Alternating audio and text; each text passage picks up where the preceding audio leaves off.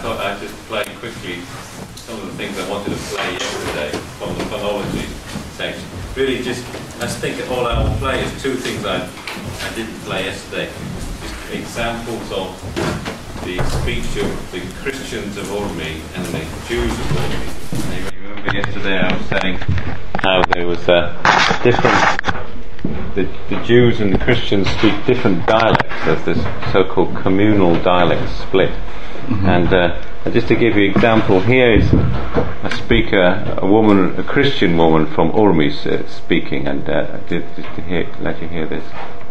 Etwa dan akademija, maar itva Litva, etwa gadan melče, Sankhirov melče Tatrajeva, u Afrikar, Khachima maruna, Khachima yan lipa, raba, čuli dunija tavale. U Afrikar, čis بعد ملچة زبليخة تس بابو دبيدا بزريتا بزر إلى يالي لتفالي Okay, that, that, as you can probably hear, she's starting to tell the story of Achikar, which is a very an ancient story, uh, story in the, in the Middle East.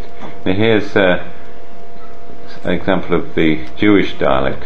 إتوا لتفا خشونتانا ياشونتانا أطفال خدن كبراتا البراتا ورابا جبابالا رابا رابا جبابالا well, again, it's only it's only the beginning of a story, but essentially, um, as I said to you before, these two, two are very different dialects. Now, I'm going to now move on to m- m- the other uh, presentation, which is this, is this is today's presentation. I need to just go to the uh, on morphology. That was the plan. Um, so I, need to learn. Yeah. Um, what does that mean? Do I press yet? Press it? Or? Oh, you can't see that. Yeah. I know it. It's, it's, um, Alexei, what does this mean here? Oh, it's okay.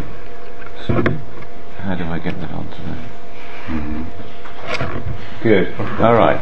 So, I'm going to talk to you, tell you something about morphology uh, today, um, and I'm going to just concentrate on, a, on a, a few selected features to show you how the morphology of of uh, of the NENA dialects um, um, have has un- has undergone all kinds of changes. Uh, I'm looking in particular at historical development and how languages in contact can have an effect on on the spoken Aramaic dialects. And we're first of all going to start looking at the what I call nominal morphology and start with the pronouns. Um, now, um, all right. So sorry for that technical problem. Um, okay. Well, first of all, I want to look at the um, some of the developments of the uh, the demonstrative pronouns, because demonstrative pronouns are very closely related to so-called third-person pronouns, and in fact, a third-person pronoun really is a kind of demonstrative, or it is a development of a demonstrative pronoun. Um, now, NENA dialects can have either a set of two demonstrative pronouns or a set of three demonstrative pronouns. Um, the uh, several dialects, like this Barwar dialect here in the middle, have uh, three sets of, of pronouns, and one set is used to refer to what's called near deixis when it means you're referring to something near the speaker. So basically in English we say this. Yeah, that's awa in the masculine singular. Then they have a far deixis form, awaha, when it refers to something in which is far from the speaker and the hearer.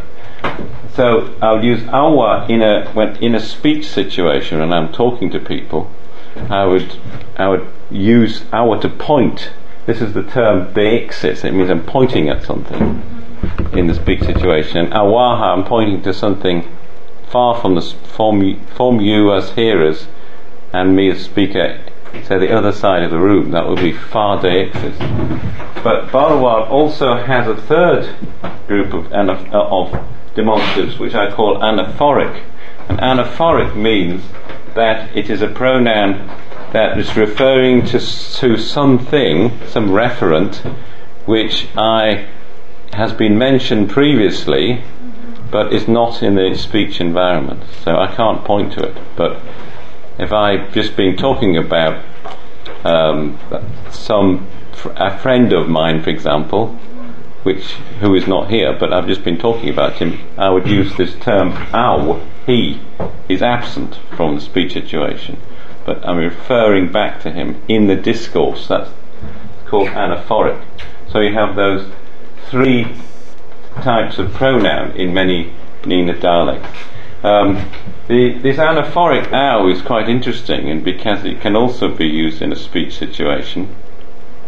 Um, if, if, for example, I, I gave Sergei the book, and I said, "Give me that book," which is near you, I would Yeah. use ow, because if you're the yeah? because if you're holding it in your hand in particular, I'll, I know that you can identify it without me having to point to it. Uh-huh.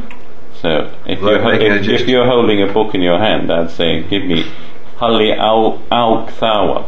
So, so that you can use a you can use the anaphoric in some spe- in the speech situation as well.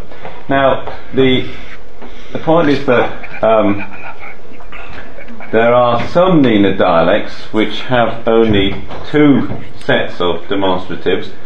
For example, in Karakosh, you have the near deixis Ada in the masculine singular, Awa in the far deixis, uh, but, but you have an anaphoric, sorry, a- Ahu, you have, you have three sets in Karakosh, but in uh, Jewish Arbel, for instance, this, this only has it has the near deixis i, i, iya, and then the far deixis or, and the anaphoric or. So there are some NENA dialects which have a, uh, they use the same pronoun for the far deixis and anaphoric.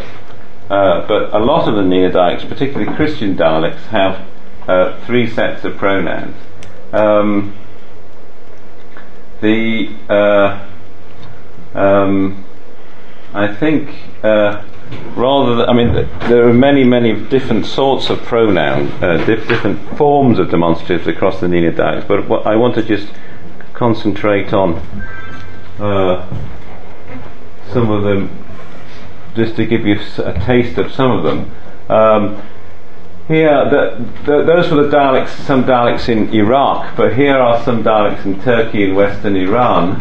We have, uh, for example, in Hertevin, you have the near deixis Oha, far deixis Awa, and anaphoric Ahu.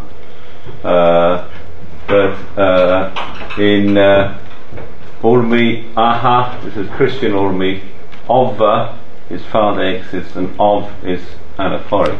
But the Jews of Urmi have only two sets. They have Ya, this, or far deixis, and or anaphoric.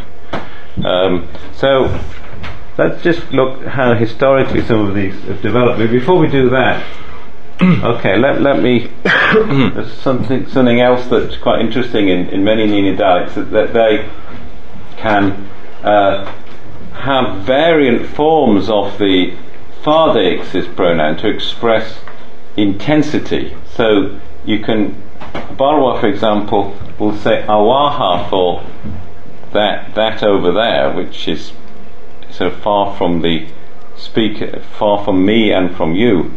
But if I was to point to something a long way away, say the other side of the field, there's an intense form, awaha, which is caused by a fortition of the vowel in, into this glottal stop, awaha. And in some dialects, you have even you have a whole series of, of intensive forms. You can actually create. Uh, um, you have a, in Peshhabal, for example, awaha is a, is the normal far deixis form. uh, which itself is a kind of intensive because you've got the H there turning to a pharyngeal, which is a sort of intensification, a fortition. But you'd say awaha with the lengthening of the vowel for, for very far. And if you want to say extremely far away, you would say awaha. Um, and uh, and then so that's just a, a, just an example of how some of the these dialects have have developed. But um, historically, uh, I mean, as you've seen, there's a lot of diversity in the form of, of the demonstrative pronouns. But um, I want to show you how I think languages in contact have had an influence of the form of these of these pronouns. Um, now, first of all, let's take Karakosh. Karakosh is on the Mosul plain, and the, the near deixis pronoun, third person, is Ada, which ca- can be traced back quite quite uh, legitimately to a, a, what I call a proto-NENA form, that it is a proto-Aramaic form, Hada, with two um, two de- which is which can be reconstructed as a genuine Aramaic form. Mm-hmm. However, it, it, it so happens in Arabic dialects and in the Arabic dialect of Mosul in particular, which is probably one of the most clo- the closest dialects, the Arabic word for this on the f- in, the, in the third masculine singular is identical, hada. Now, that doesn't mean to say that Karakosh has taken this pronoun from Arabic. Uh, what has happened is, and this often happens in language contact situations, is that a, la- a language in contact can help preserve an original form. Um, and this seems to be what's happened with uh, with, with Karakosh. Uh, and whereas in Barwar we have an innovation in that the third, in the, the near deixis form Awwa, does seem to be innovation because if, if we're saying that the original form in NENA dialects is Hada, uh, how do we get Awa? Well, Awa seems to have been formed by analogy with um, with with perhaps the anaphoric pronoun ow, uh, which um, it's, certainly innovation, but the point is that this innovation is not completely spontaneous, but it is uh, it is result of contact with with with Kurmanji Kurdish, where many Kurmanji Kurdish dialects in northern Iraq have a very very similar looking system of demonstratives. So you have, for example, Barwar. This is Awa and in the Kurdish of the area of Amadiya, which is the same area basically, they would say Awa for this. Awaha would be that far away in Barwar, but Awehe, you know, Awehe, they would say in Kurmanji. And Aw, anaphoric, Aw, anaphoric in Kurmanji Kurdish. Now, that doesn't mean to say that these forms are Kurdish in Aramaic. It's it's a situation where the Aramaic has somehow changed shape uh, by a um, by adapting itself to the shape of, of Kurdish, and it, this often happens in language contact. Is that you have a language changing shape using its internal resources and becoming like the language in contact. Um, I think um, that's probably all I need to say. I think uh, there's a, so there's a lot of other things that I could say, but um, let's look at some of the other pronouns now. Um, we've got. Um, uh, so, by the way, so when we talk about the third person pronoun, like he, what we're really talking about is an anaphoric pronoun. That's the point. Uh, so therefore, when you when we're dealing when you're dealing with third person pronouns, you have to take into account the whole demonstrative system. Um, and but now, if we move on to the other persons, uh, essentially the the first person singular in, in, in, in virtually all of the NENA dialects is ana. It's quite doesn't really change its form, but the other persons are do change their form. The, the, the dialects exhibit a a, a, a large diversity. Um, now, many dialects have the form art or or arti for the second person singular without any distinction in gender. Arti looks a bit like a feminine gender if you know other other other forms of earlier forms of Aramaic, but in fact they're Many dialects use at for masculine and feminine, or they other dialects say arti for masculine and feminine. In fact, arti is probably the most common in the NENA dialects uh, pronoun for simply first, second person singular, you masculine or feminine. However, there, there are some dialects which have uh, they they have a, a te- they have undertaken a, a change or change the form of this, this second person pronouns in order to express gender distinctions, and particularly on the area of the Mosul plain, like Karakosh, for example, uh, they uh, uh, in Karakosh you would say ahit for you singular masculine ahat for you singular feminine. And what's happened, this is, this is an innovation. Ultimately, they, it seems they have taken the pronoun at and they've split it syllabically into ahit and ahat. And the, the it and at are, have been taken from the verbal inflection, mm-hmm. where in the, in the inflection of the verb, which we'll look at soon, uh, a little bit later on this evening, you have in, you have gender distinctions for the mas- for the masculine and feminine second person you. And that's and this often happens in in the formation of independent pronouns in that they change their shape by analogy with verbal inflection or inflection sometimes of pronominal suffixes. But this is certainly what's happened with Karakosh and this has happened in a number of other NENA dialects you have ayat, ayit and ayat in in uh, many da- other dialects, the Mosul plain, for example, for masculine and feminine. Um, now, uh, we have the most widespread uses of the first person plural, that is we, is achni or achnan, which sound, will sound familiar to you from earlier Aramaic. Um, but uh, um, there are some dialects which have the form atchan, which seems to be a form based on analogy of the second person plural, atchun, you plural.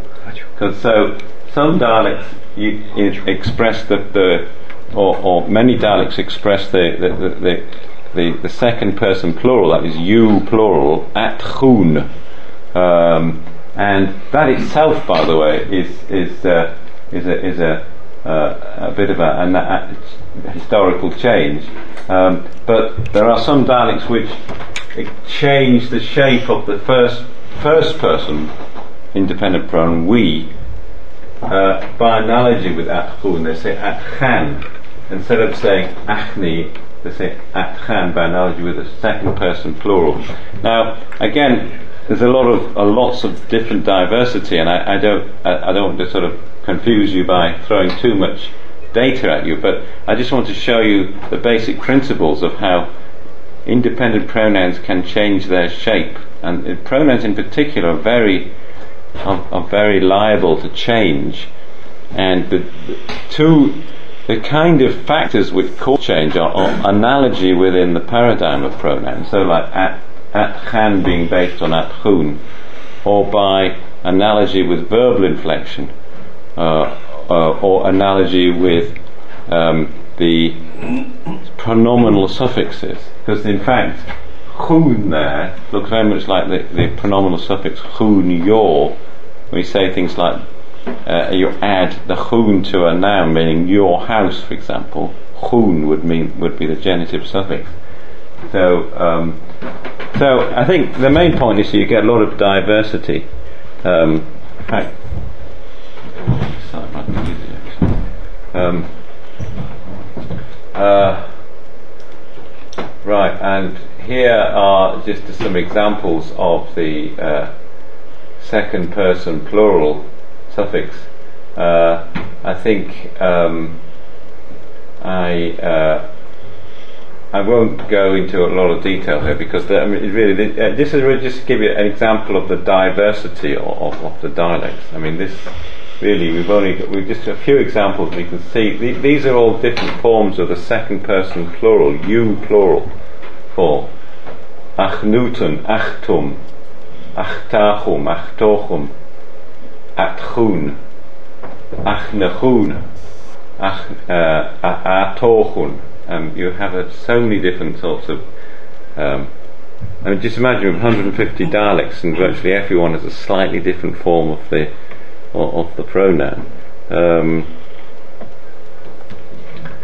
uh, okay, now let's now look at pronominal suffixes, that is to say, suffixes added to nouns to express a genitive relationship like my house, your house, his house. Um, now, in earlier Aramaic and in, in other in, in classical Semitic languages like Hebrew or Arabic, um, um, the um, if you add a suffix to a singular noun or a suffix to a, a plural noun, you, you typically have a a different form um, of, of, of you write like in Hebrew you say beti but um, if you want to say my houses, you say Bartai, I, or, or you say Susi, my horse, Susai, my horses, right? Susacha, your horse, Susecha, your horses. Now, the same was the case originally in, in early Aramaic. Um, but in most NENA dialects, that distinction has disappeared, and you get one suffix for both singular nouns and plural nouns.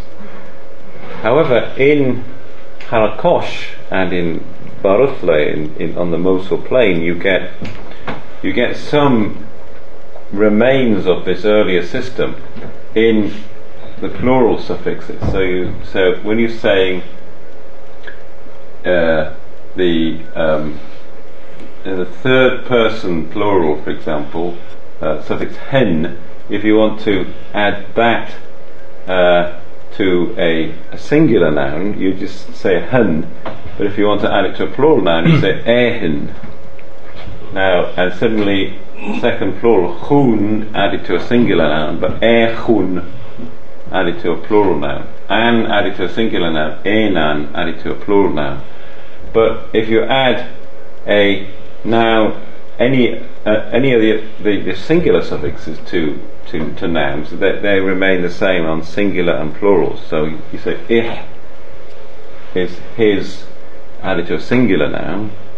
Um, so you would say um, Torih would be his ox, but Torih would be his ox and oxen, his plural, of you know the, the the male male of the cow.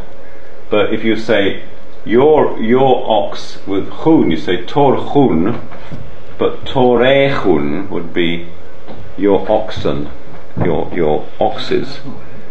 Um, right now, uh, other dialects you use only one sing only one form of the pronoun for both singular and plural nouns.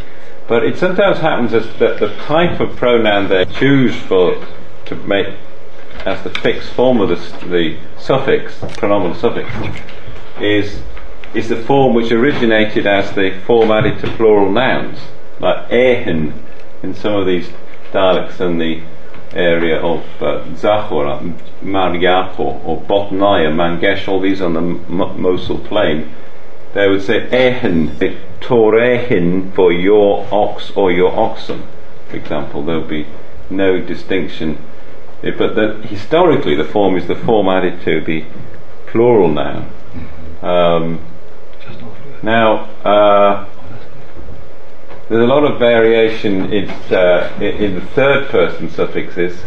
Uh, you get some very conservative dialects like Botnaya or Ankawa, which still have the form eh in the third masculine singular. Which this is the historical form, and this is the form you'll get in earlier dialects of Aramaic, biblical, you know, going all the way back to biblical Aramaic, and that's still preserved in some dialects on the Mosul plain. Um, some dialects of the Mosul plain have this interesting feature of turning this this laryngeal uh, to a pharyngeal. Uh, it's a kind of strategy to preserve the H, it seems. Um, and uh, so you say things like eh. So you say torih, uh, his ox. Uh, but then you get a variety of uh, different types of third person pronoun, pronominal suffix in, in a range of other dialects like e or eu or u. And all of these can be explained by a certain kind of historical development. Uh, e, e seems to have developed simply by dropping the h. Ehu seems to have developed by some kind of addition of a, a who from a who, eu. U just seems to have been a development from uh, possibly contraction of Ehu. Uh, um, and uh, there's, um, yeah, okay. Now, let's look at nouns in the form of nouns. Now, the first thing about nouns in NENA dialects is that you've got a, um, you remember in earlier Aramaic, uh, you have uh, this ending R on nouns, which expresses the definite article, right? Malkar, the king, right? Now, in in by the time you get to NENA, this R has become completely fixed. It's no, no longer functional as a definite article, and it only it is obligatory part of a noun um, and it's really what we just call a, a nominal inflection. It, it, it, it indicates that the, the, word is a noun. Um, and uh, so the word susa in, in Barwar means horse, and the the ah is it doesn't doesn't mean specifically the horse. It simply means horse. Now there are other ways of expressing definiteness, which I'll talk about shortly today and, t- and particularly tomorrow. Um, now, the point is that this nouns in are are um, can be masculine or or feminine. So susa, for example, is is masculine, but word ena, I, is feminine. So it's not necessarily specifically a masculine ending. It's really an unmarked nominal ending. Now, there there are a number of uh, feminine endings because there are two genders, of course, in NENA, just as in uh, in earlier Aramaic. Um, so, uh, and these are forms like ta or tha. So, susta means a female horse in Barwar, or mare, as we say in English.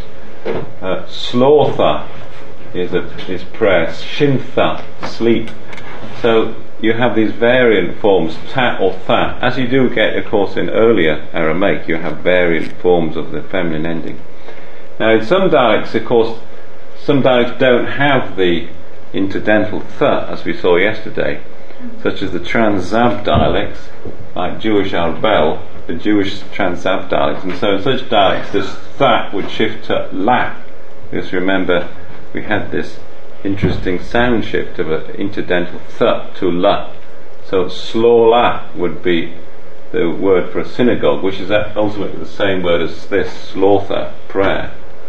Uh, the um, another strategy is to ch- churn the the th into duck in, in the Trans-Zab dialect, so shinda from shintha.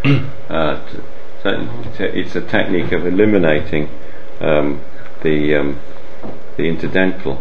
In fact, the, probably the process of development of, of the th to the L had an intermediate stage of a d, it would seem. It's a kind of a, um, that's the intermediate stage of development.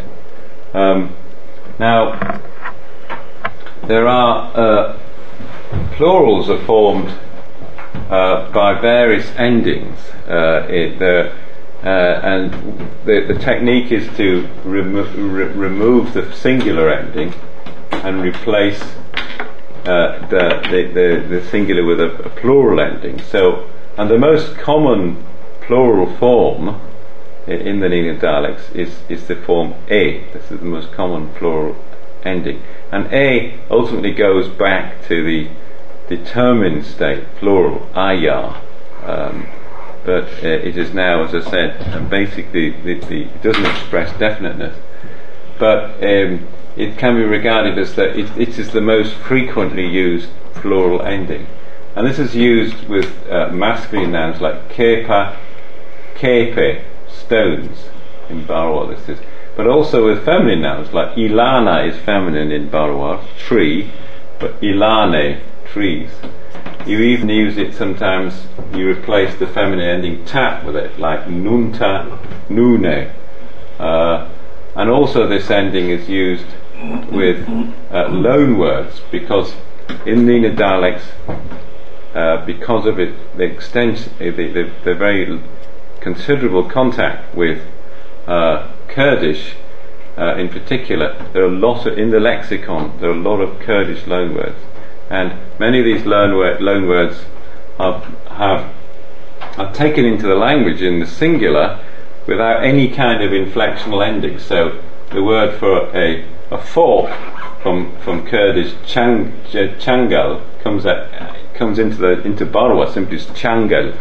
There's no adding of the a, an vowel. Occasionally, loanwords are adapted to morphology, and, and, and a, the a vowel is added. But in this case, you simply have changal in the singular.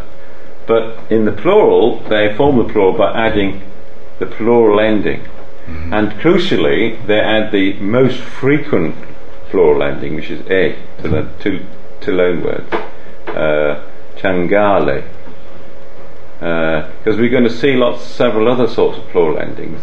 And so when you, but it, it, it's an important point that when you when you actually have a loan word, you use the most frequent ending to express the plural. Why? Because the most frequent ending is the most productive ending, the most alive, if you like, yeah, ending, uh, and it's not what I call specific to any particular lexical items. Now, if we can move on, for example, to look at some of the other plural endings, we have in Barwar, for example, we say Umrah is a church, but you add the ending ane to express the plural, umrane. So we have the ending ane there. Akla, it's word for a, a leg. Aklatha, it are legs. Sorry, the comma should be here, not, not, not, before the S. Um, and that is, uh, so the ending is Arthur replaces at. This is a feminine ending. At. This is, sorry, this is a, a, a feminine noun, and, and this, the, but there's no feminine ending, but the at is replaced by Arthur. Horna, brother. Hornawatha, brothers. Betha, Bethwatha, houses. Um, now, these are less frequent endings. Some of them uh, more frequent than others, but they are, they are in principle less frequent than a.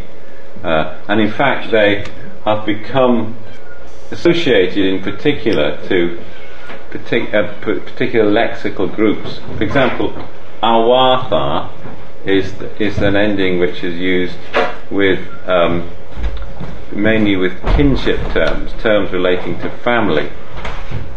So, uh, ma, mama, mama, watha, for example, that means uncle or uncles. Um, and uh, baba, baba, watha, father, fathers.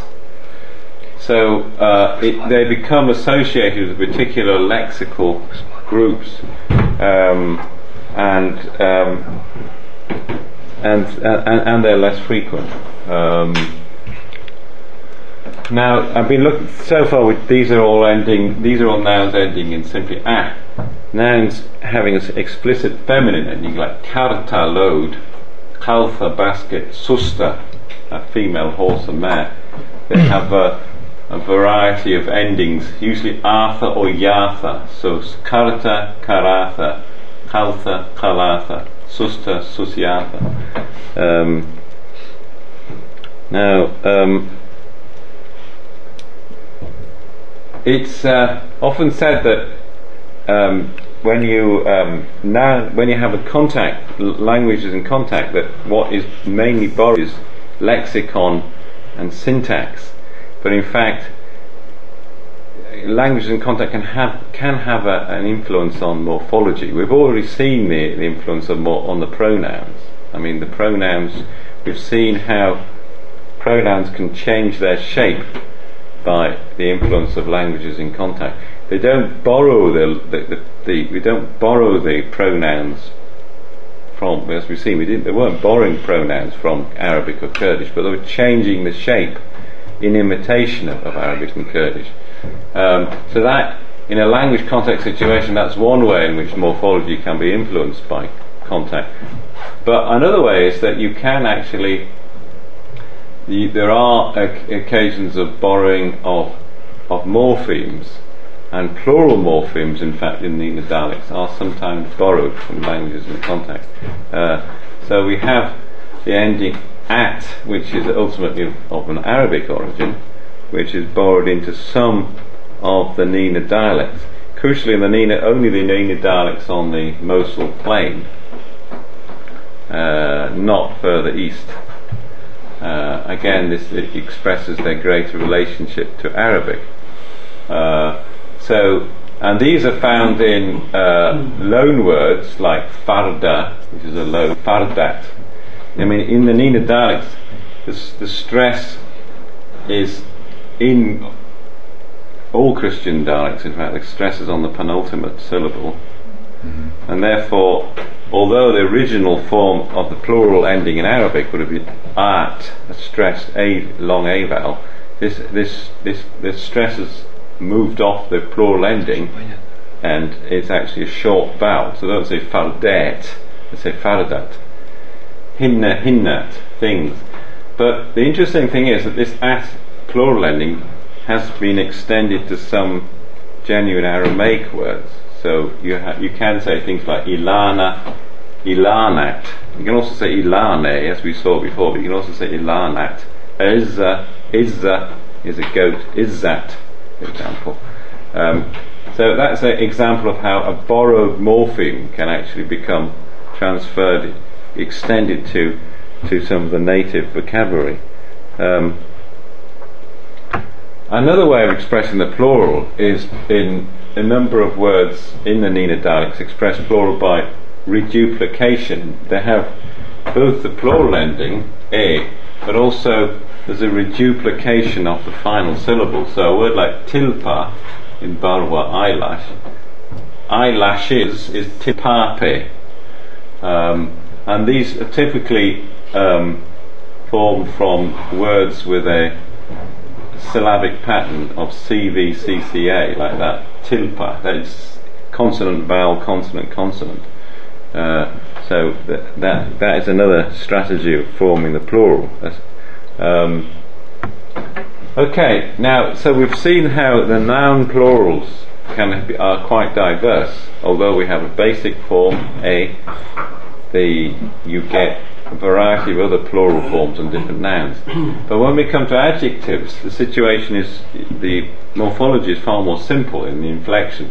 We have a simple, we have a masculine adjective ending in a, basima, uh, but bas, uh, pleasant, but and the feminine in ta, basimta, and the plural in a, which is the basic plural form a, and that and and all adjectives have a plural ending a for both wh- whether the noun is masculine or feminine or whatever whatever the um, the form of the plural of the noun is. So if you say something like um, I don't know uh, Bethawatha Basime, you could say pleasant houses.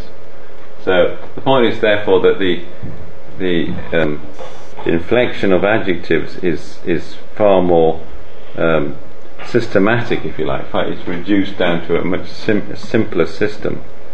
Um, right now, now let's look at this phenomenon of nominal annexation, as I call it. This is the the really the historical development of the genitive particle da. Now, if you know in early Aramaic, you have a genitive particle da, originally d in biblical Aramaic, which expresses uh, a, a, a genitive annexation, as I put it. Uh, what we mean by that essentially is that, the, that you have a, a, a, noun followed by another noun which is expressing some kind of attribute of the first noun. Um, so the house of the king, in other words, the a kingly house, in other words, a house that is uh, that that uh, has the attribute of belonging to the king. Now, so you you you you will in early Aramaic, you know this particle is is uh, is in, in fact originally independent d, but then is in in Syriac it, it is prefixed to the second noun. Um, so um, you would um, say in Syriac Baitar de Malka, for example, the house of the king. Uh, and this occasion is found in some particularly conservative dialects of NENA, such as Karakosh. You say Bishala de Nashe. The Bishala is sort of like a stew or cooked food of people. This is an example of one of my texts, Bishala de Nashe. So that looks all very uh, simple, like you in early Aramaic. However, in majority of, uh, uh, in virtually all other NENA dialects, including often in Karakosh itself, you get a, uh, a the D is actually cliticized or suffixed to the head noun. So the story of my grandfather, Hokithit Sawi, um, and it does seem there's a variety of reasons to believe that in fact this developed from Hokithe um, that his his story of, and this is of course this is a construction you'll get in Syriac, it's called an anticipatory genitive pronoun, Hokithe and that's become contracted to Hokithet cru- crucially with the genitive particle suffixed to the head noun.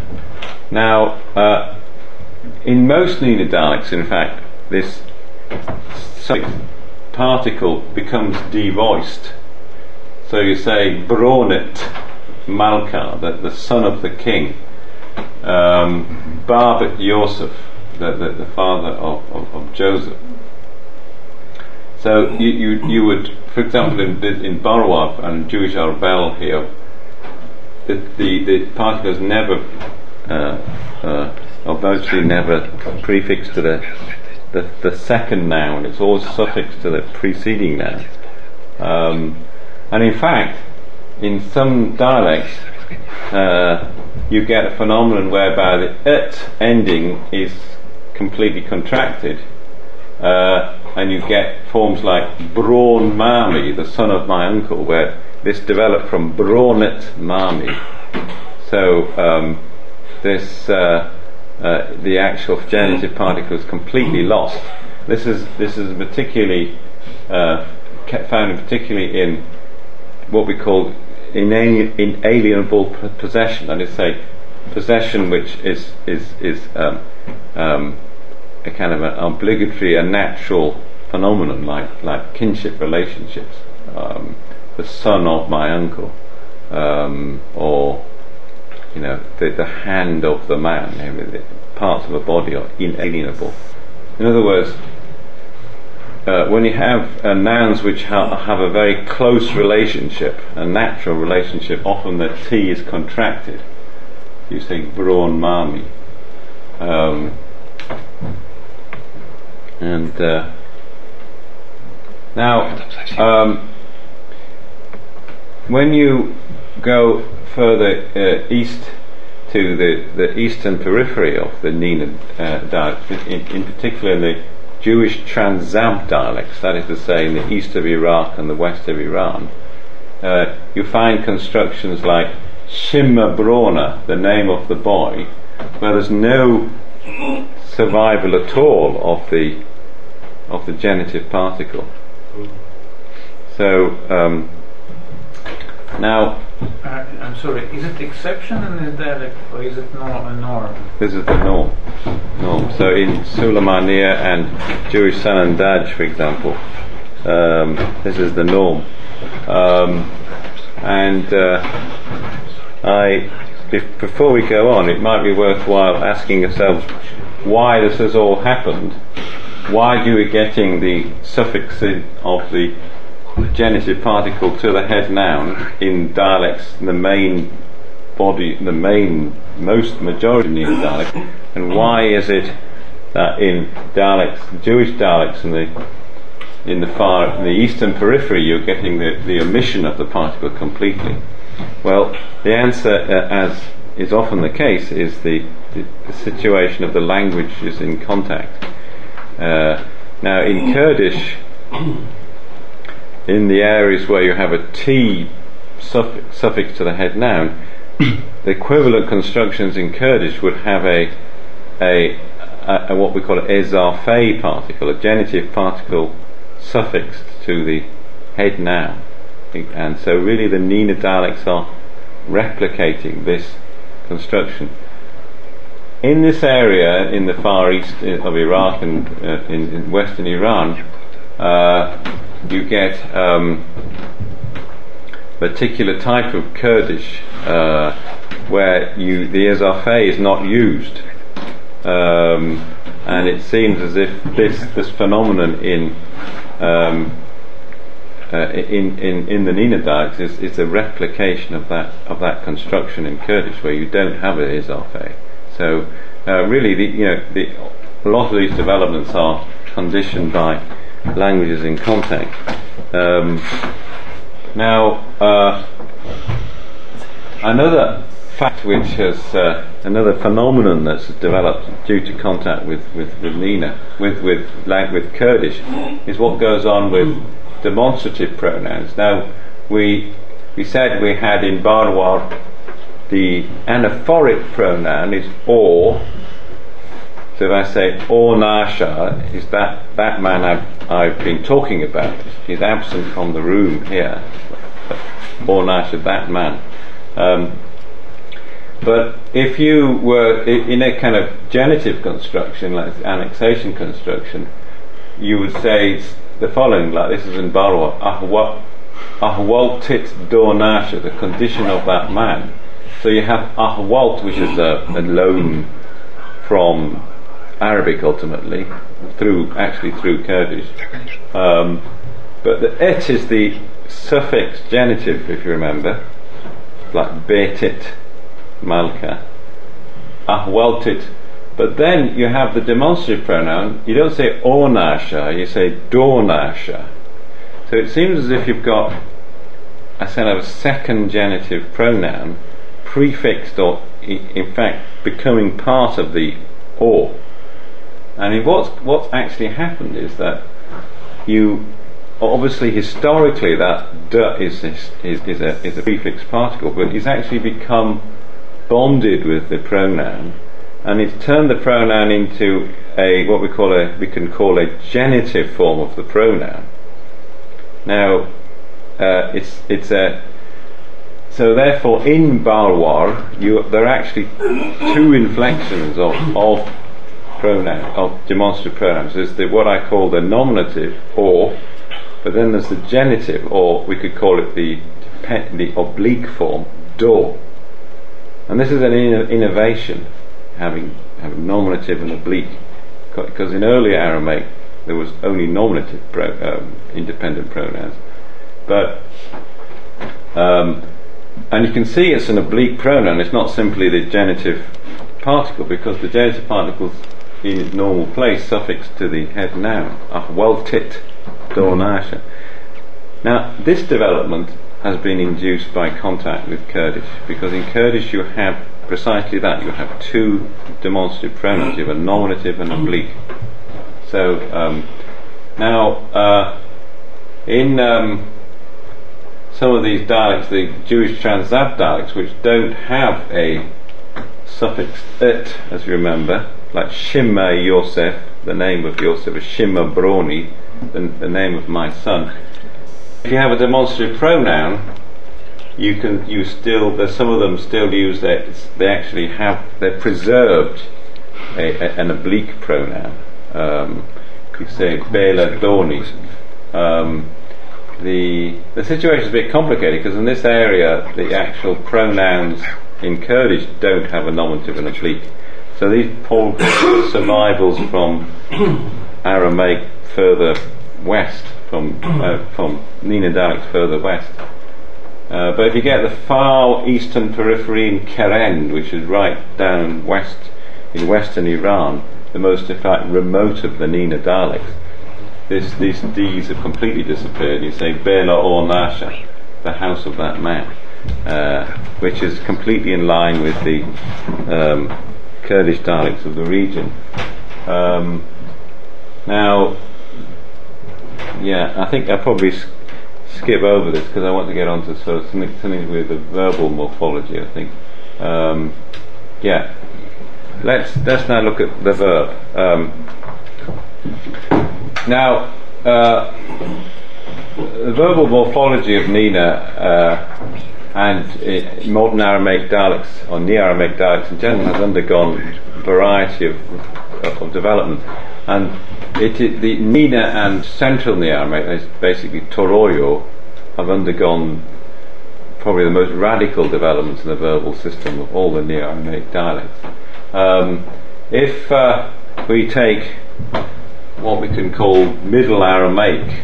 I mean, we could call, I mean, it's a bit of a vague term, but we're talking about early Aramaic of the sort of a period of like Syriac or, or Jewish Palestinian Aramaic, the, the kind of Aramaic which uh, some of you are learning in other classes. We could distinguish three forms the perfective past katal, an imperfective realis, which is a participle, cartel, and an imperfective irrealis, yiqtul. Irrealis means subjunctive, essentially. Um, now, what happens in NENA is that uh, essentially the katal and the yiqtul have disappeared, and also in uh, in Turoyo. Um, and the katal and the yictul have been replaced by participles. So katal has been replaced by katil, which is a historically a passive participle. Uh, has been replaced by cartil. But cartil itself, therefore, mean, to um, in order to distinguish cartil, which is now used as an irrealis, further innovations occurred to the cartil form by typically adding prefixed particles like ki or e. Um, and uh, these prefix particles, I mean, the whole pattern of, of adding prefix particles to express the irrealis or indicative of, sorry, I, I meant realis, that the use of key or the use of prefix particles to express the indicative, the realis imperfective, is in fact a phenomenon of many languages of the area. You get it in uh, Kurdish, Armenian, you get it in also the Arabic dialects of the, of the region. I mean, the, the, the, so-called Kultu dialects, um, and um, it's a very widespread phenomenon. Um, and also in other Iranian dialects further, further, further east. Uh, they, uh, and by, by the way, as, as is usually the case, although these particles like ki or e um, do sort of follow the same pattern as, let's say, Kurdish or Armenian, uh, and sometimes they sound very much like them. And, for example, uh, Armenian has a particle gi, and um, or some of the Armenian dialects, and uh, Arabic dialects sometimes have their par- have a particle ku, for example. They say ku yishrab in uh, the Jews of Arbil who speak Arabic was you have a particle ku. But uh, and then the Nina dialects have ki or e typically. But the, these, although these, these, these particles sound a bit like the, the particles in the language in contact, they are still native Aramaic particles. Um, um, then some dialects have innovated further by by introducing another form, Bektala, which is simply a form based on, a, on, an, on an infinitive and a prefixed locative particle. In Bektala would be in killing, for example, uh, but that's used to express progressive. Um, and typically, the most innovative verbal forms are progressives. And so many dialects, particularly those towards the the, the north the northeast of the NENA, NENA area, have innovated Birchthaler form to express the present progressive. You know, I am now eating, I am now speaking. And therefore, these key Khartil forms get pushed out of the progressive into a indicative uh, habitual meaning. That I, I normally speak, I normally eat. I eat every day, not I'm eating now. Um, and uh, this Birchthaler form itself is, is, is a, seems to be has resulted from contact. Um, you find it in many languages, particularly in that northeastern area of NENA, um, and it's it is it it is this is a feature I do believe has some kind of uh, contact relation, some kind of it has been induced by contact with Armenian to some extent because this is a normal form in Eastern Armenian. Uh, so it's found in in standard Turkish, uh, but in actual fact, in the local Turkic languages of, of the area, is not used. So it's not likely to have been to originate from from Turkish. Okay, let's move on. Uh, if we quickly look at other uh, Neo-Aramaic dialects, we see that other Neo-Aramaic dialects have actually preserved more of the original system of Middle Aramaic. For example, Neo-Mandaic has preserved the Qatal form. Um, and uh, Western Neo-Aramaic has pre- pre- pre- preserved the Qatal form and the Yuktul, form. So NENA and Troy are the most innovative in this respect. Okay, now uh, the inflection of verbs in NENA is, uh, um, is done through uh, by, by, by inflecting a series of of verbal stems, or ba- I call them bases actually, the, and um, the these bases are can are are the are as follows. There's the, there's the present base parthich, which is historically a, an active participle. The past base ptich. This is in Barwar. This is the verb to open, which is historically a passive participle then we have the resultative participle pticha, which is historically the passive participle and the definite article. Then the imperative ptoch and the infinitive ptacha. Um, now, the the dialects are uh, have a series of um, I call them stems, or they're sometimes referred to in Hebrew as binyanim. That is to say, de- derivational patterns, uh, like the pa'al, pa'el, etc. Now, NENA dialects have lost a lot of the of these derivational patterns. I mean, in Syriac, for example, there is there's a, a series of patterns. Uh, many of them with the with, with the so-called T element, like F per L, F per al, etc.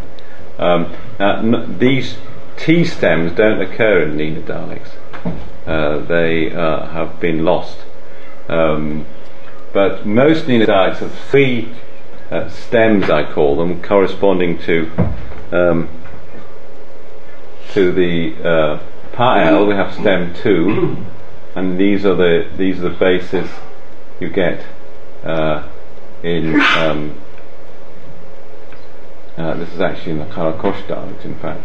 Um, and this uh, and this is stem three, which is the equivalent to the Af in, in Syriac the causative. Um, and uh, the uh, um, this, by the way, this, this is the dialect of Karakosh, which shows, in fact, in, in some respects, Karakosh dialect can be more archaic than even classical Syriac, for example, because, because here in the infinitive we have arkoche, which is the the afel, we can call it afel if you like, from the verb to soften. But you notice there's no M, because in classical Syriac you would, uh, uh, the actual, the infinitive of the afel has an, has, has an M element. Right, maktalu. So it's, uh, and that is, seems to be by analogy with the participle. But here, in Karakosh we've preserved there's, there's a preservation of our koche without the M, which seems to be a more archaic element. Yes, in JBA Oh, yes. it's infinitive. Sorry? In Jabir, it's the same Infinitive in JBA. Yes. Right. Without M and with the final A. Actole or actaule according to Morgenstern. Right. Right. Um, um, yes, Jewish Babylonian Aramaic. Right. Um, but um, the uh, um, okay, yeah, okay. Th- th- this is th- this is um, to show that uh, uh, in some some NENA dialects, the, you know, the, these distinctions between between the stems have has been reduced considerably. For example, Jewish Sulemaniyya has only got two stems left, uh, and what's happened in them is that the although they are still they can be called distinct stems. I'll, I haven't got time to go through all the sort of intricacies of this, but basically the they they essentially there's the there's the, the this pa'al the basic stem and then there's the af'el with it with it with the, the, the causative stem. But if you look carefully the the actual um, the vowels of, I mean, it's a little bit complicated because the things have changed in various ways, but essentially, because they have different inflections, the different vowelling in the first stem according to whether it's transitive or intransitive, perhaps we'll leave that aside. But the main point is that the vowels, the vowel patterns for the first stem and the causative second stem are in fact the same. In fact, the, the in terms of the actual vowels. Uh, so, for example, infinitive of the first stem, paloche, a o e, is the same as in mardoche, a o e.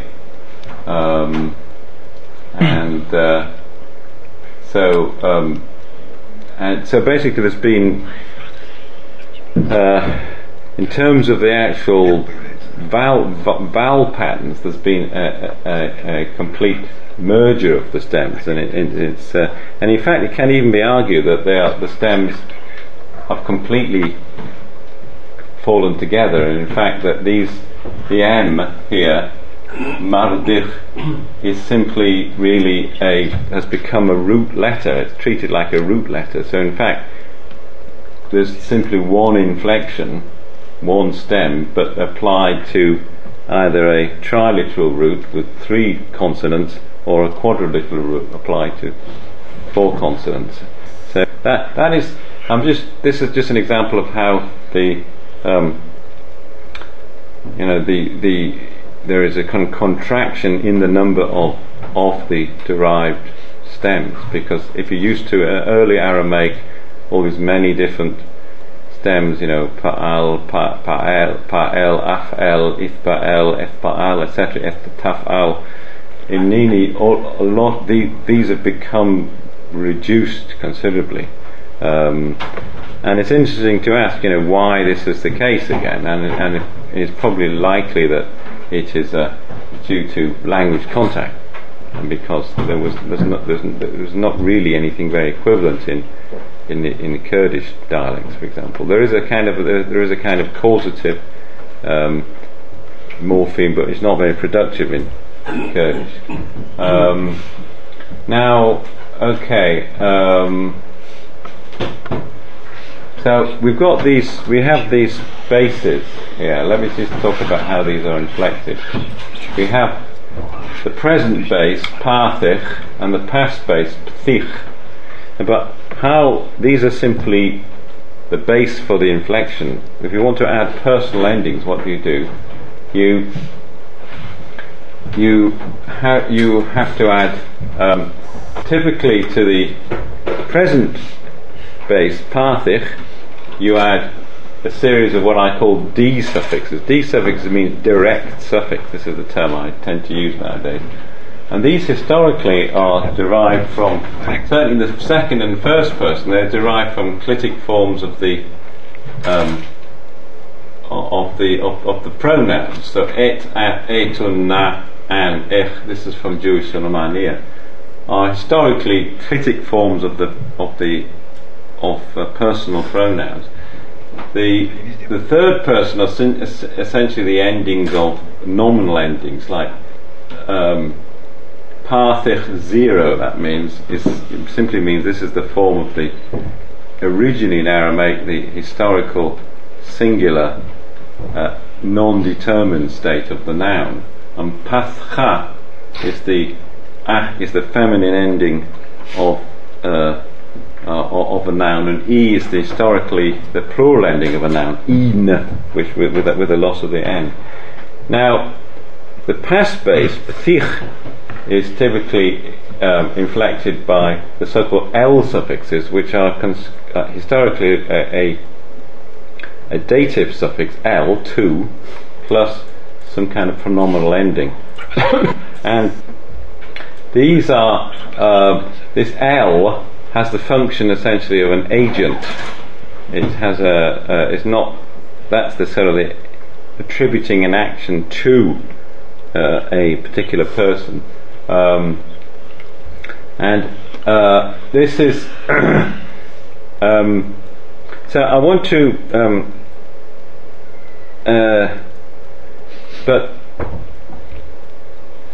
I'm tr- trying to simplify this the the um, uh, in, in the languages in the dialects of the of, of, of of the, of the eastern periphery in, in um, the, the, the Jewish Trans-Zab dialects, you have a situation whereby you have a form of ergativity. And ergativity essentially means that is that a typical ergative language is where you get the on the marking of a or on the verb of um, of an intransitive verb is the same as the marking on the verb of, a, of an object, and then the transitive subject has it a different marking. Now, uh, let me talk you through this if I can explain how this works.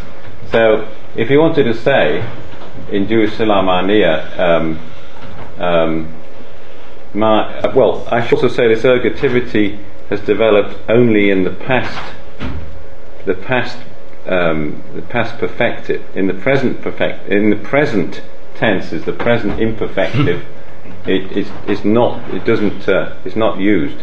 Um, and um, yeah, I should perhaps go back to this table first to say that this L suffix is also used in the in the NENA dialect to express direct objects. I mean, That's a very important point to note. It can be used to express agents and it can be used to express direct objects. The D suffixes in these Trans-Zab dialects are used to express subjects of a present verb or subjects of an uh, also of, of intransitive past verbs. Now let, let me just give you some examples. So if you want to say my daughter pulls the friends, this is an, this is a transitive verb, present base, brati baruche garshalu, and this is the object, and this is the verb. She pulls garsha, and the a is the d suffix on the on the present base. Lu is the direct object. Now, the, this direct object suffix is agreeing with this this object noun. So it, it is what's called an uh, object agreement. But crucially, it's the L suffix agreeing with the object, and the R agrees with the agent. That is to say, it is the present base, uh, and it's agreeing with the agent. Here also we have a present base. Prati samcha, my daughter stands. This is intransitive. Prati samcha, and the A agrees with brati. This is the D suffix. Um, now, but what happens if you go to the past? Is that you have constructions like this. The friends pulled my daughter. Baruche brati gershalu. And baruche brati is the object. Gershalu. And here the R refers to the object. And the lu refers to the the agents, the plural, baruchi, baruche. So, uh, but if you wanted to say my daughter stood up, intransitive, you'd say brati smicha, and the A would be agreeing with the intransitive subject. So therefore you have typical ergative construction whereby the, the marker of the intransitive subject is the same as the marker of the transitive object, gersha, in, in, as in gershadu. And that is, so in these NENA dialects in the, in the, in the east of the periphery, we have, a, we have what's known as ergative syntax, and this has developed through contact with, with Kurdish. Um, that's all, I can miss that out. Um,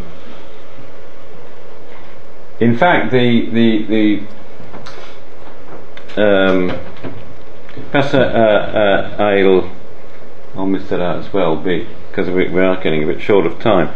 But I think the main point is that um, that is, this type of ergative construction, which I've just described, is, is rather peculiar to those Jewish Trans-Zab dialects in the east of the NENA area. Majority of the NENA dialects in, in the past, but in the past spaces, they have the express the subject of both transitive and intransitive verbs by an L suffix. So in Barwar, for example, you'd say, My friends pulled my daughter, Khaurawati Grishala Brati.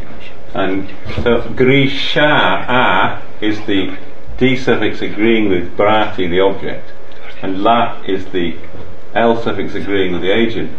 But my daughter Rose Brati Kimla and that that is all that third feminine singular of L suffix agreeing with the intransitive subject. It so happens that la is both L third feminine singular and also third pl- plural in this dialect. It's slightly confusing, but it's an L suffix.